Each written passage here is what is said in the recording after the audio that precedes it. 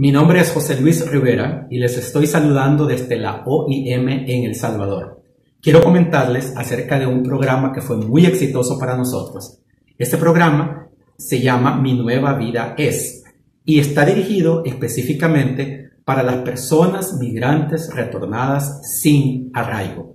Queremos compartirles el uso de las buenas prácticas para que si alguno de ustedes está en un proyecto similar de inserción o reinserción laboral, pueda tomar en cuenta lo que nosotros ya hicimos aquí en El Salvador. Las acciones que nosotros llevamos a cabo aquí fueron 1. La recepción e identificación de las personas retornadas sin arraigo.